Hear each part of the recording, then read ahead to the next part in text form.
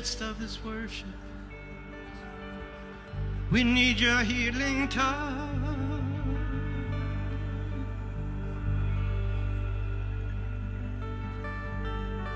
In the midst of our worship, we know it's by grace. We know it's by mercy.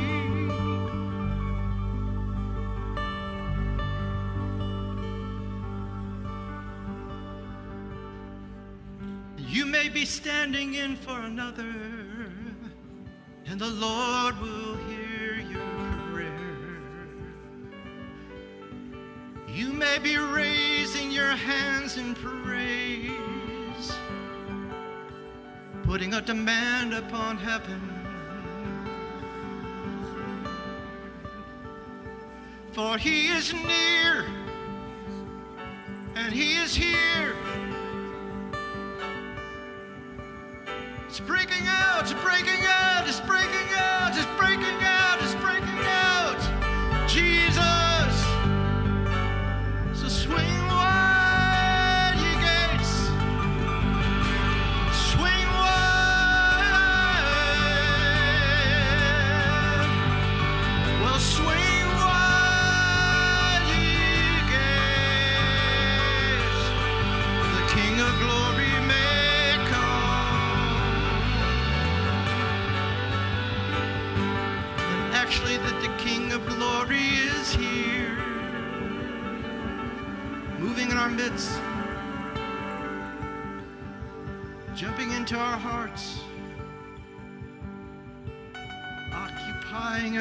a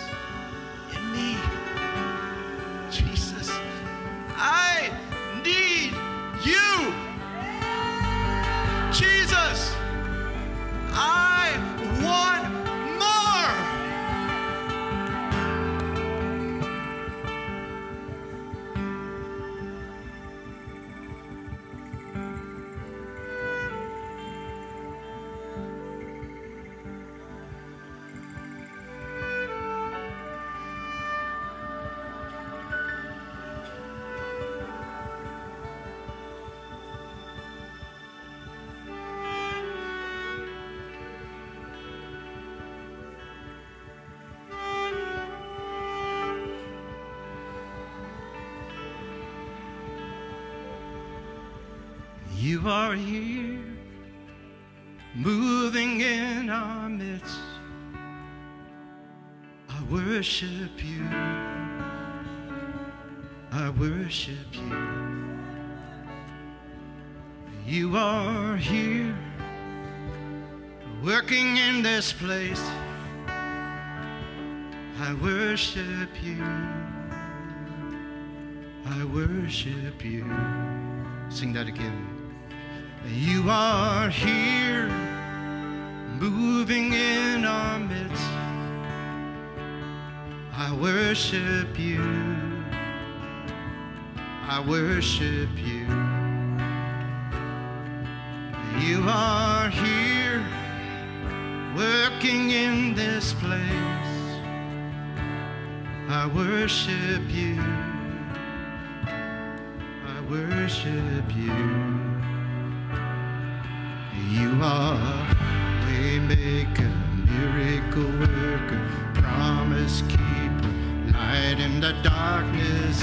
My God, that is who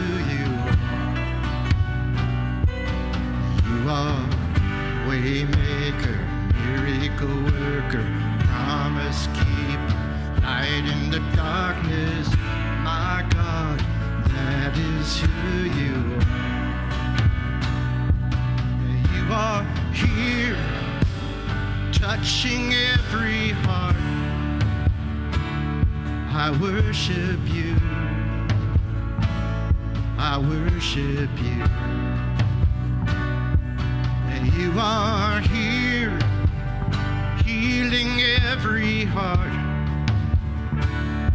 I worship you.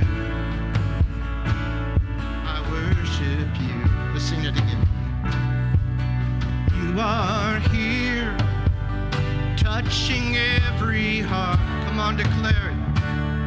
I worship you.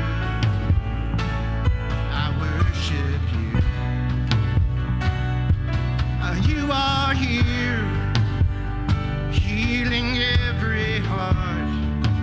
I worship you. I worship you. You are here. You are here, turning lives around.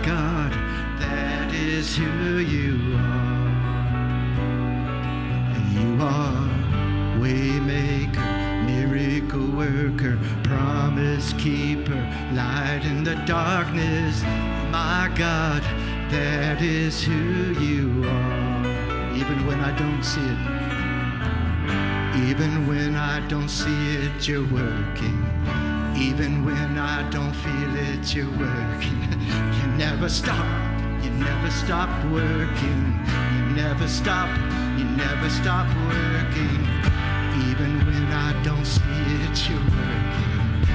Even when I don't feel it, you're working. You never stop, never stop working. Never stop, never stop working. Even when I don't see it, you're working.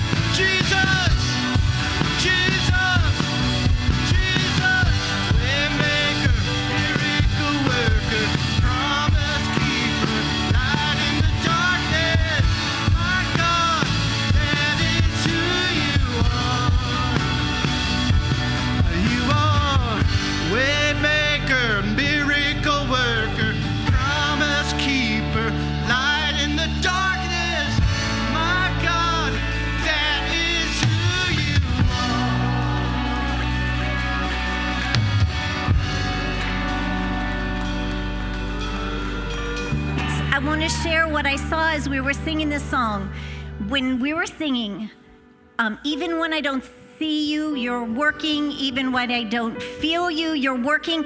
I saw a, a, a big, huge group of people, and they were walking forward, and they were literally just chanting it. They were just chanting as they were walking forward, and they were walking forward, and they were walking forward. Even when we don't see you, you're working. Even when we don't feel you, you're working. You never stop. You never stop working.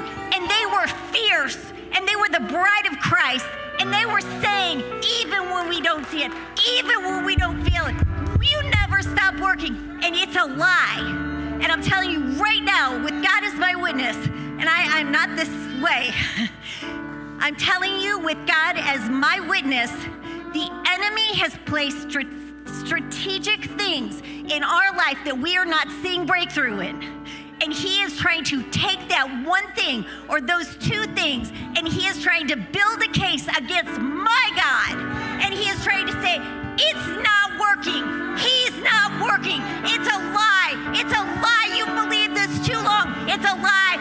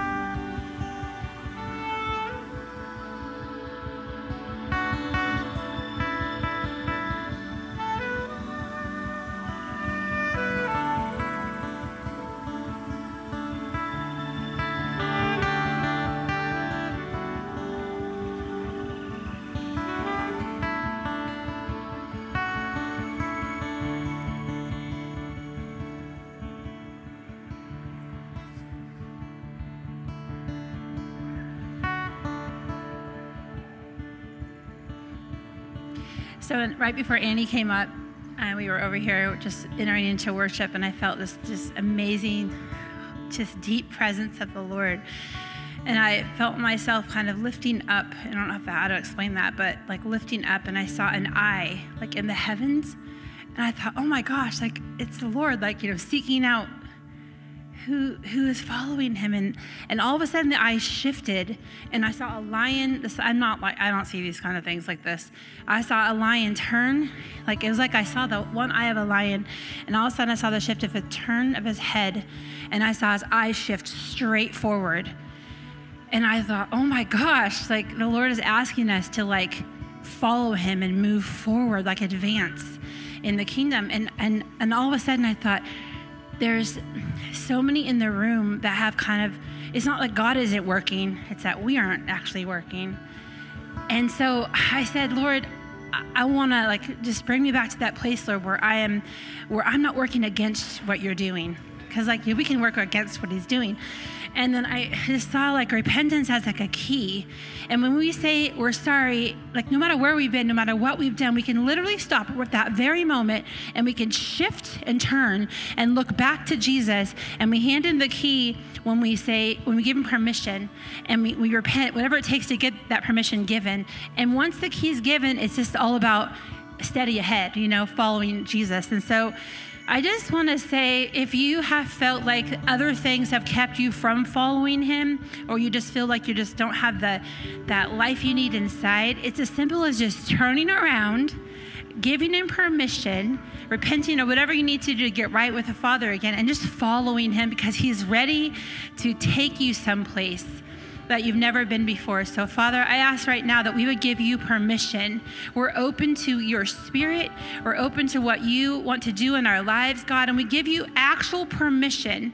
And we repent, Lord, for, for holding back anything of shame, anything of pain, anything of that would hold us back from you, knowing that you're not looking at that thing very long because you already dealt with it. You just want us to turn and give permission. So, Lord, we grant you permission and we ask this open heaven that I do really feel like there is an open heaven over this um, place today, that we've stirred it up in the spirit. Lord, I ask that it would just remain. It would just remain. In the name of Jesus. Amen.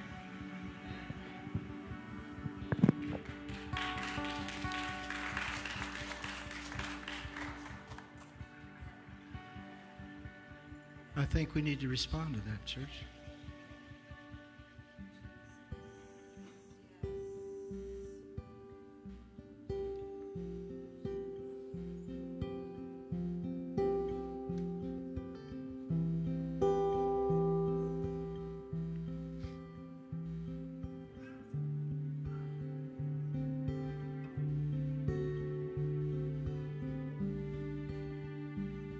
Between you and Him.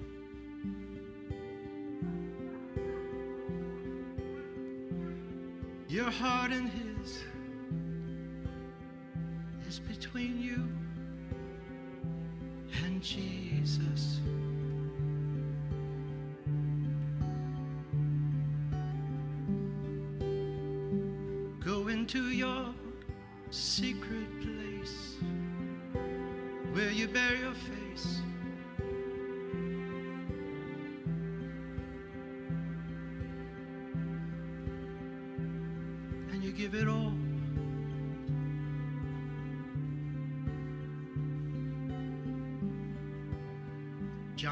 The service by surrendering it all.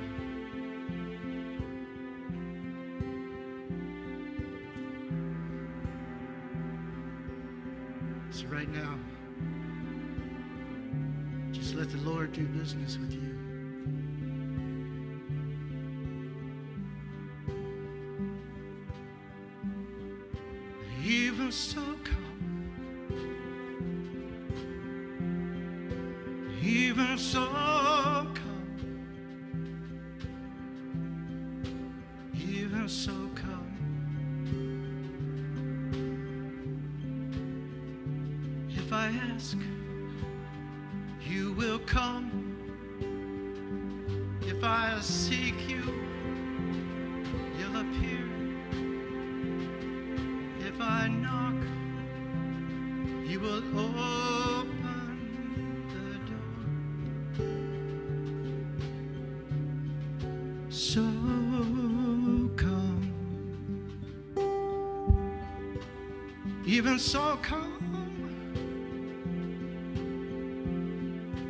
So come, so come. You have taken the precious from.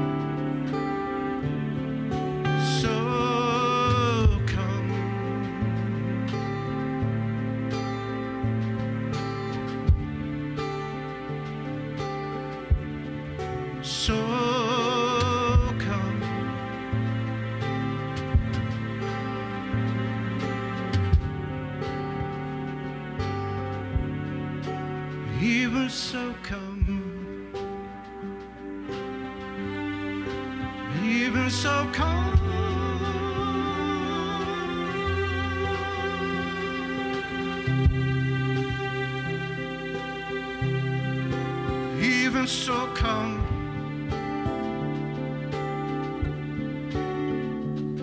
Behold, the days are coming, for the Lord, He has promised that the plow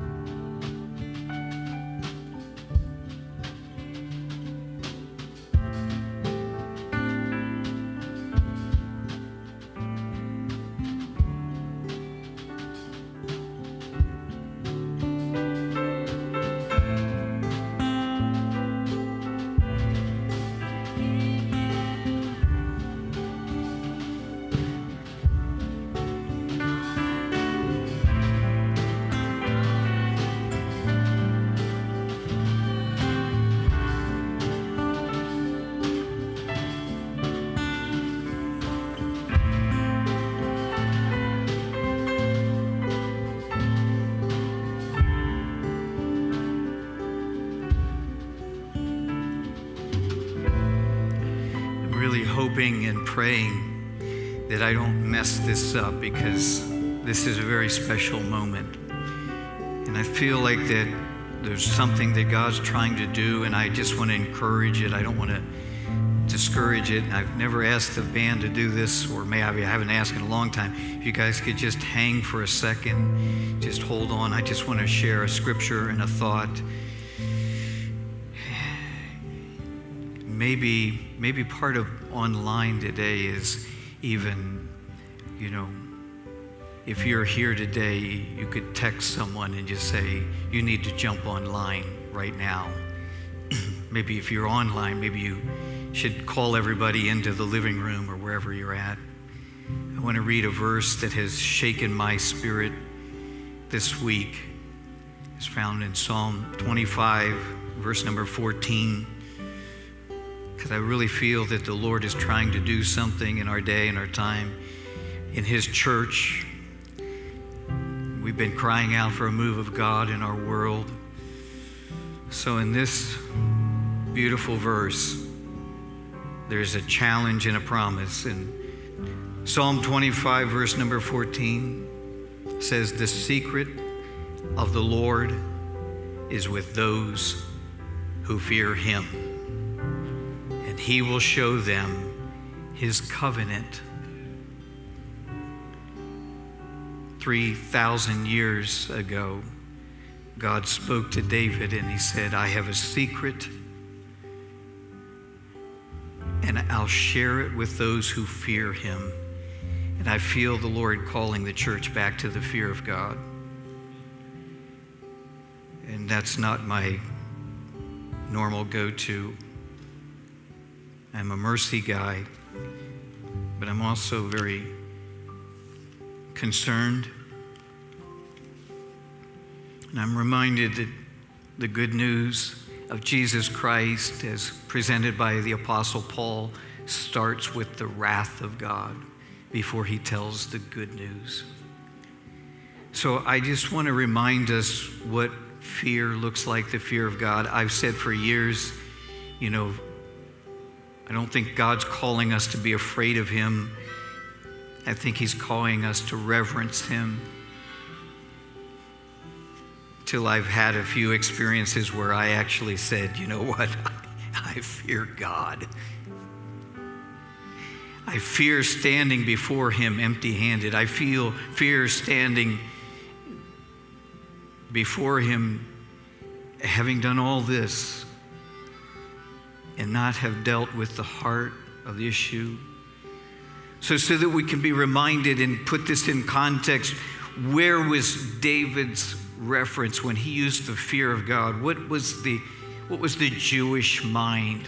There were two events. One of them was when God delivered Israel from Egypt. The fear of God fell on Israel as God dealt with their enemies. And from that point on, I mean, they, they understood that God is a consuming fire. And God taught them how to build a tabernacle, how to build a, an ark, which would be a throne, which would be a, the presence of God among them. And He taught them how to do sacrifice and how to approach God. And He created a priesthood and He robed them and garmented them and taught them. And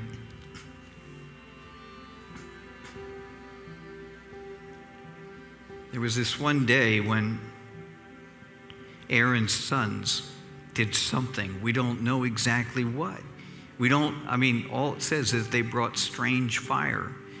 And it probably means it was just fire that hadn't fall, fallen from the heavens, it was just other fire. There is a reference to not drinking and intoxication for Aaron and his children. But this story goes something like this Nadab and Abihu the sons of Aaron each took his censer and put fire in it, put incense on it, and offered profane fire, common, ordinary fire, before the Lord, which he had not commanded them. So fire went out from the Lord and devoured them, and they died before the Lord. before you say, like, but that was in the old covenant, you know, this happened to Ananias and Sapphira in the new covenant. And Moses said to Aaron, this, this is the point.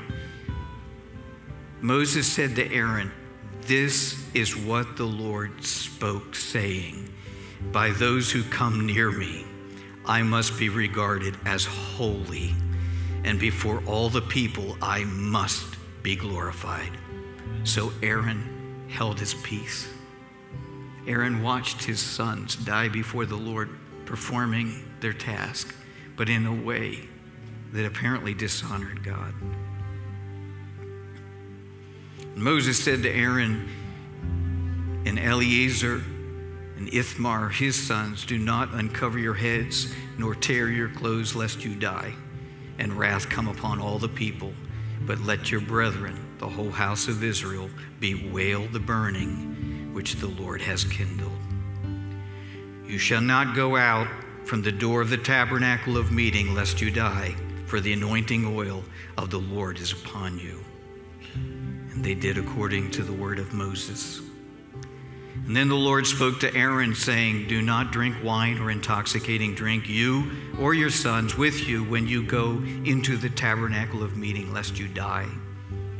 It shall be a statute forever throughout your generation, that you may distinguish between holy and unholy, between unclean and clean and that you may teach your children all the statutes with which the Lord has spoken to them by the hand of Moses. Brothers and sisters, I stand before you today and I feel like I could prophesy $6 a gallon is coming. I believe with all my heart that's coming. I think that it's going to be very, very rough. And it's not the Democrats, it's not the Republicans. There's no political answer. There's a spiritual answer. God is looking at his people, if my people who are called by my name, if they humble themselves, if they seek my face, if they turn from their wicked ways, then I'll hear from heaven. I believe this is a day where the Lord wants us to remember the fear of God. And when the fear of God becomes our, our bottom line, it's like, okay, we stop arguing with God. We start uh, stop arguing with each other. We just say, "The will of the Lord be done." You know, when that becomes our our bottom line, David says that the secret of the Lord is with those who fear Him. The Lord sent me here today to call this church, to call our city, to call our nation back to the fear of the Lord, to return to reverencing and honoring Him, to give up on your own thoughts and your own ways, give up on your own plans and your own ideas, and all your bickering and fighting and complaining, and return to God. This is not the message I want to be sharing with you. Let me share just a verse that I want to share with you. It's found in Acts chapter 10. Cornelius had a vision. He called on Peter. Peter had just had a revelation. He goes to this Gentile's house. This Gentile's house, I mean, clean and unclean, this is like the epitome of it.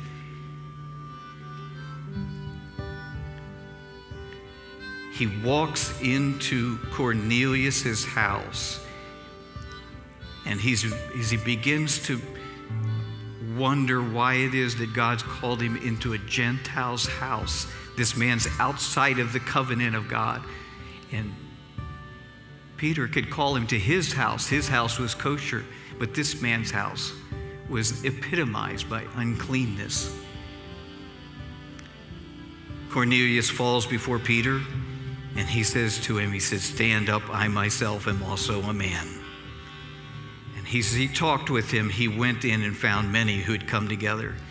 And he said to them, You know how unlawful it is for me, a Jewish man, to keep company with you, to go of one from one of another nation.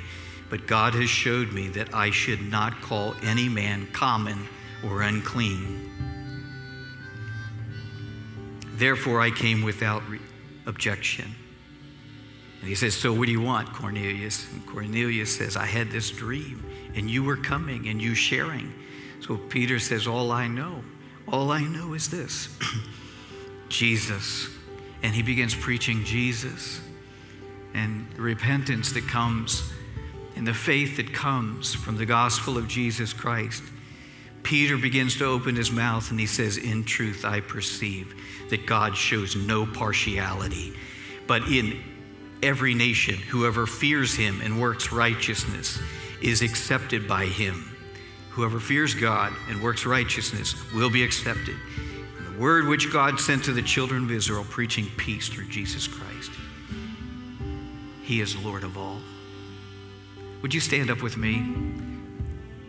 I don't know if you, I've pondered this a long time, but the secret of the Lord that He shares with those who fear Him and those who keep covenant.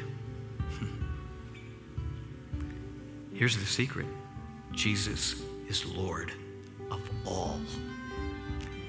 There is no such thing as clean and unclean after God has cleansed them. He is Lord of all. But that means that you and I are not Lord at all. He is Lord of all. Brothers and sisters, I'm going to ask Gary to continue singing the song, and we have a time to come and present ourselves to the Lord. Let's come and say, God, restore the holy reverence and fear of God to us and our children, our churches, and our nation so that God can do a deep work in us and we can walk out of here and say, it doesn't matter who you are, what color, what, what educational background, where you hail from.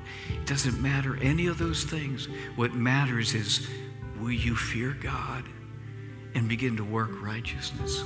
Will you follow Jesus? Will you follow God? Will you commit your heart and your way to Him? And as you're coming, I just want to remind you that my mind remembers there was a revival in the Hebrides that began with this verse The secret of the Lord is with those who fear him, and with those he shares his covenant. And thousands were saved on a single island in a single night. And it went from island to island and place to place.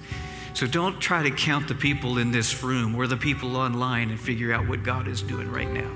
God is trying to do something, and He's trying to start with you and with me. As musicians lead us back into worship, I'm going to invite you to come and we're going to present ourselves. This is like the hard part. This is what we got to do. You got to repent if you want to receive grace. You got to come if you want Him to come. You've got to surrender if you want Him to reveal Himself. You and I need to come to a place where we understand that we represent Him and we have to re- represent Him better than we've been. Is there anyone understanding what I'm saying right now? This is a time of repentance. This is a time for us to come before the Lord and say, Oh God, I pray for the blessing. I pray for the blessing of your people returning to an understanding of the fear of God. We pray, Lord Jesus, that we would remember that the wrath of God that we were saved from cost Jesus his blood, his life. So we present our life, we present our blood. Come today and say, Lord, here am I. As for me and my house, we will serve the Lord. Here we are, we're coming to return to Him to the fear of the Lord. I'm not sure what you're going to do, Lord. Even though I don't know and don't see what you're doing right now, I believe you, I trust you, and I'm asking that you would bring us to the place where we reverence God. And when God speaks, we listen. When He gives us a word of knowledge, when He gives us a word of prophecy, we hear and we're not so conditioned to it that we just ignore it and let it pass by. We open the book and we see the words and we respond to you. Oh God, as for me and this house, Lord, we repent before you and we ask, Lord Jesus, that you would lead us by the hand, that you would lead us by your spirit. There's a people, Lord, right here today in Warmleys, Pennsylvania, and you've arrested us, you've caught us, you've drawn, drawn us, and there's something we knew. We couldn't put our finger on it. There's something wrong, and we couldn't say it, but we know today we've, we've, we've become casual with God. We've become casual with grace. We've become so casual with you. Would you begin to restore the fear of God to your people so that we walk in reverence, we walk in purity, we walk in sobriety, we walk, Lord Jesus, in holiness, we walk in the beauty of holiness. Hallelujah. Hallelujah. I hear the Spirit of God saying this world is spending billions of dollars to try to look a little younger, to try to look a little prettier. But the Spirit of God is saying there's a beauty and holiness that you cannot sell, you cannot buy. It is only found in repentance. There's a beauty and holiness that only comes in the presence of Almighty God. There's a beauty and holiness that causes you to be clean and cleansed on the inside and on the outside. And what is on the inside begins to be reflected out through, and you begin to shine as stars. You begin to shine. Is there anyone besides me feeling right now? We could just use a bath in the Holy Spirit. We live among an unclean people. We live in an unclean nation, Lord Jesus. We live among people with unclean lips and unclean hearts, and they've rubbed off, off on us, and we need your cleansing again. And the cleansing of God will take away every sin and every stain. It will take away all the guilt. It will take away all the shame. Oh God, cry out to you, cleanse us.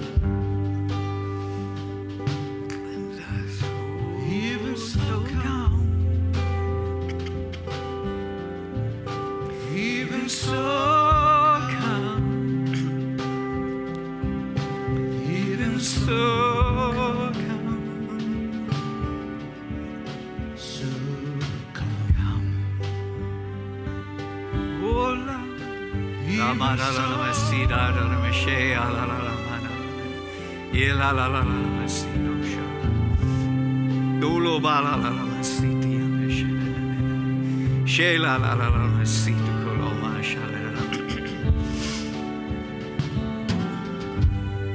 Like if there's something you need to confess, just find someone.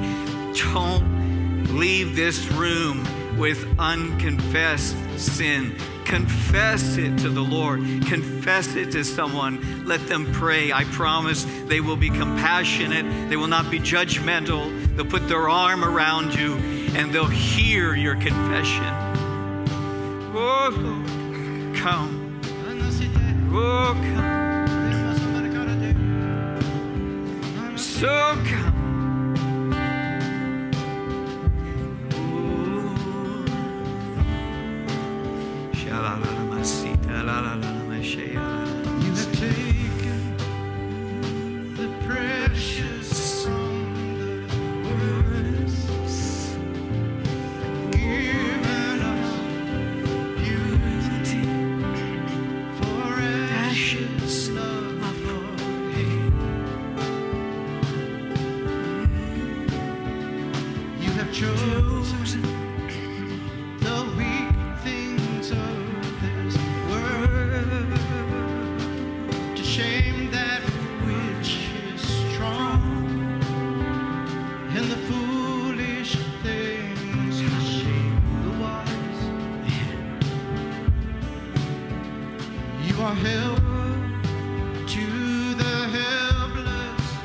The Lord.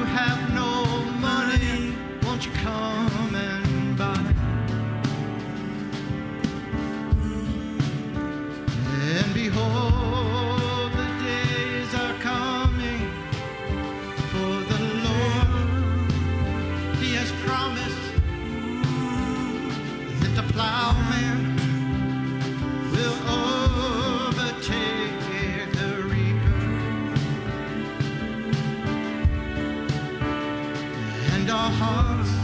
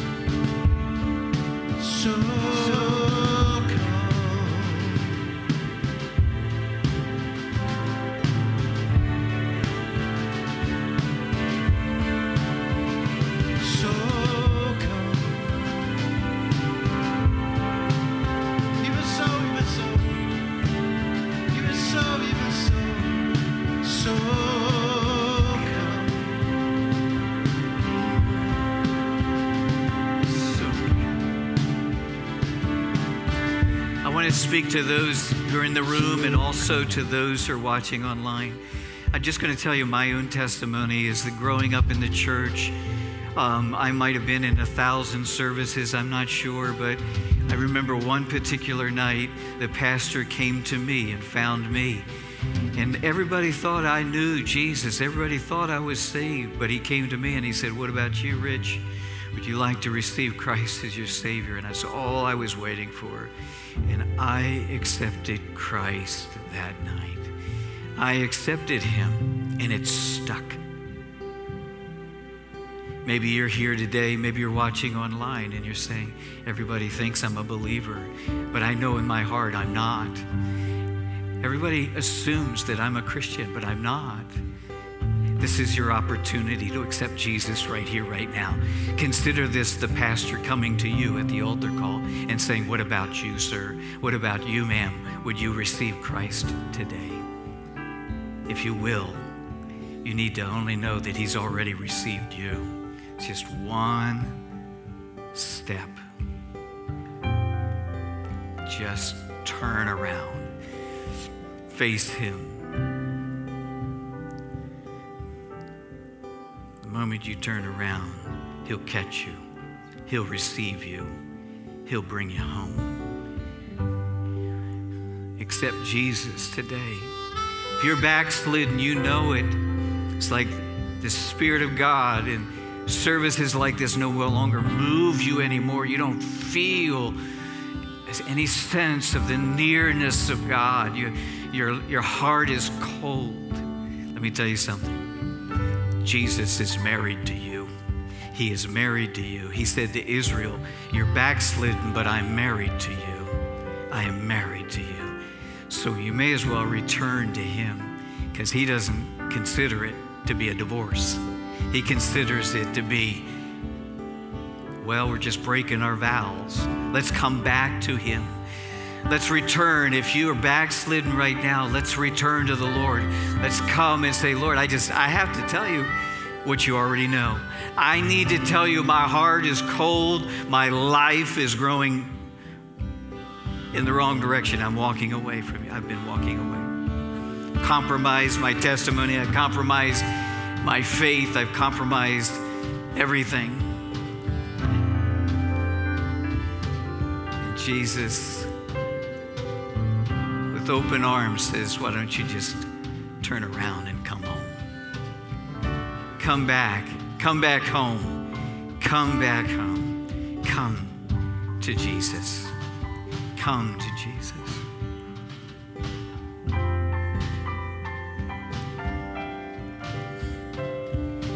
I'm going to invite everybody to stand up if you can. Stand up with me. And I need to do something here. If you've asked Jesus to come into your heart, if you've repented, if you've come and said, God, restore the fear of God to my heart, if you've come burdened and heavy laden, okay, I got to tell you what happened.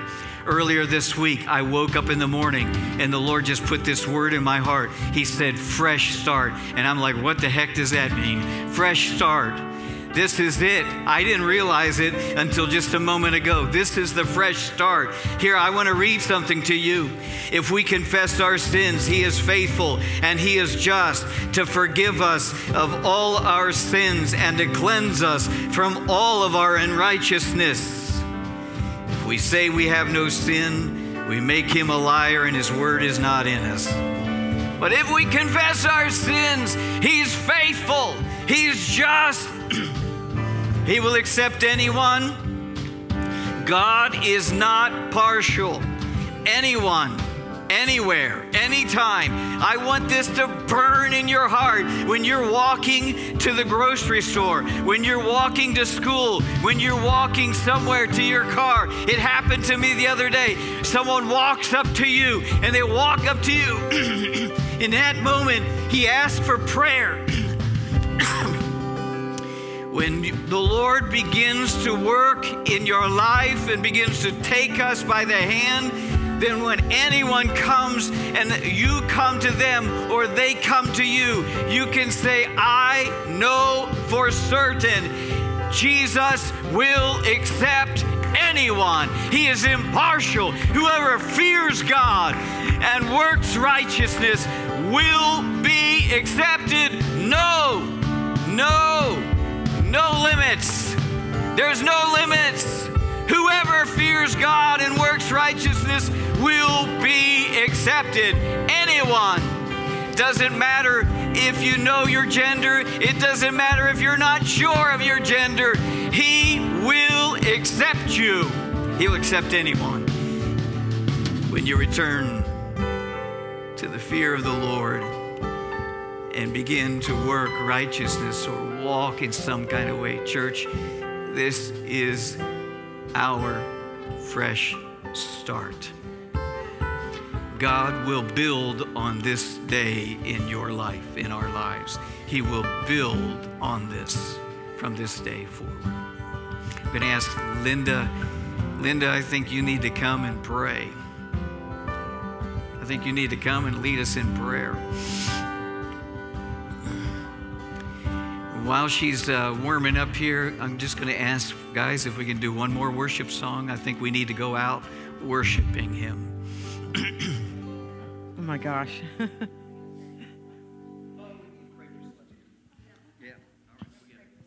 yeah, we got pray for Celeste. Celestial being, come here. Hallelujah. Celeste is going to the Mojave Desert or someplace we can't know about. I told her this morning that Jesus will be in the desert. He's already been there before. And we just want to extend our hands towards her and just to pray blessings over her as she lives out her testimony. She has a lot of people in the military that she loves, their friends, their families. And I'm asking the Lord to give her all those friends their lives, their Lord, let them come home with testimonies. Father, we thank you for Celeste. We thank you, Lord Jesus, for her testimony. We pray, Father, in the mighty name of Jesus, that even though she will be at times probably tested to the limit, I ask you, Lord, when she's about ready to give up, that you would pick her up and strengthen her I'm asking, Lord Jesus, there's going to be some people who are going to want to party. There's going to be some people who are going to want to celebrate in all kinds of ways, and they will feel justified in it because they did a hard thing. I pray, Lord Jesus, that Celeste's celebration will be the lives that you have given her in the process, and how you have protected her, and how you have sustained her, and how you've kept her. And I know that there's this like, I will be sort of feeling disconnected from my people but your people will not be disconnected from you. We'll hold you up in prayer. There will be a church praying for you till you return to us. Praise your name, Lord Jesus. Thank you. Thank you. Thank you. Thank you, Lord Jesus. Hallelujah. Praise your name, Lord Jesus. Yes, you will miss this, but I promise you, Jesus will be with you in the wilderness. Hallelujah. Praise your name. Yeah. Praise your name, Lord Jesus. Hallelujah. Praise your name, Lord Jesus. Hallelujah. Just want to say one thing about the wilderness. You know, like that was where Israel failed, but Jesus succeeded where they failed. So he's been in the desert before. He knows how to help you to succeed. So you're going to want to read the first four chapters of Luke a time or two. Thank you, Jesus. Praise your name, Lord. Amen. Amen. Okay. Oh, Holy Spirit, I just ask that you pray through me.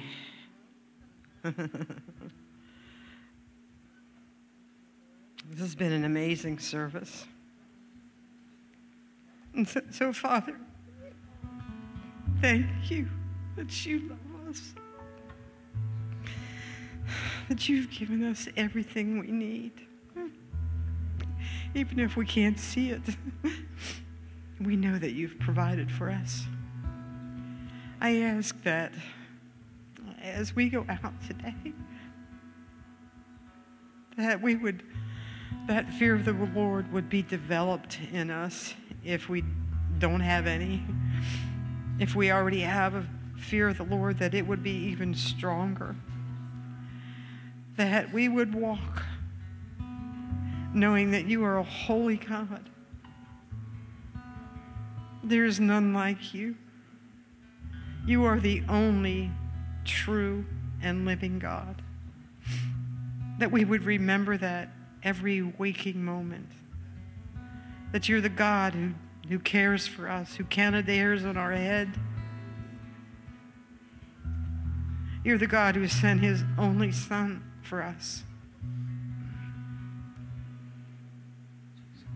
So, God, I ask that you would I know that the Pentecost is coming, but I'm asking ahead of time. She would fill us. With your fire, yes. with your power, yes. that we would have words in season and out of season, Father God, that we wouldn't be afraid to talk to anyone, Hallelujah. that we would be more afraid of you than we are of a stranger or our enemy. And God, that we would preach the word in love, but we would preach the word. We would give the testimony of Jesus, our risen Savior. So I thank you, Father God, for every person here, every person watching online. I ask that you that set your angels in charge over us, that we would go out rejoicing today. And the first person we meet, we would just say, Jesus loves you we would tell them that Jesus loves them and that there's an excellent way to live. So we just, we just, I just, I just can't even. Words fail me. You're such an amazing God. And Father, that we remember that every day this week. And as we come back to worship you next week together corporately, where there's such power in that, Father, that we would find somebody to lead to the Lord this week. Amen. Or pray for healing or just hug them right. because they need a hug from God. So, Father, thank you. Thank you for this amazing place. Thank you for being such an amazing God. In Jesus' name, amen. I also had an impression that, uh, you know, there's actually a couple kinds of fear, right? There's the fear that the enemy stirs up in you now, I believe that we need to set that, that fear aside, okay? And that we need, as we go out, set that fear from the enemy aside and grab hold of the fear of God. Go ahead, Jim. We're going to. So the uh, fear of God will destroy every other fear. Amen.